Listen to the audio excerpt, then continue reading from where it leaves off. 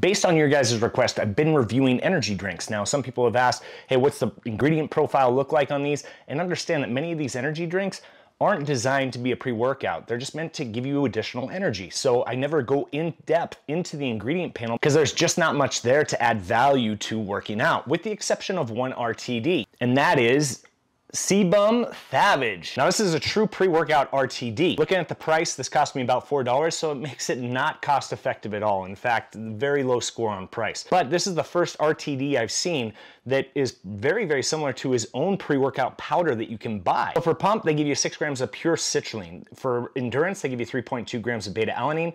For strength, they give you 2.5 grams of betaine anhydrous and another two grams of taurine. They give you an additional one gram of agmatine sulfate for additional pump. Now for energy, they give you 260 milligrams of caffeine anhydrous. They're gonna give you 64 milligrams of dicaffeine malate. So a little bit of a slow release caffeine. They give you 150 milligrams of L-theanine to kind of level out the playing field. Then they give you 60 milligrams of bitter orange, 10% synephrine, which is an intense energy ingredient. They finish it off with 25 milligrams of AstraGin for absorption and 100 micrograms of huperzine A for additional focus. Right now, this is the only RTD on the market that really gives you everything you need to find in a pre-workout. So with that, let's give it a flavor test and see where it's at. So I got blue raspberry here. It's got some heavy dyes in it. It's like bright blue.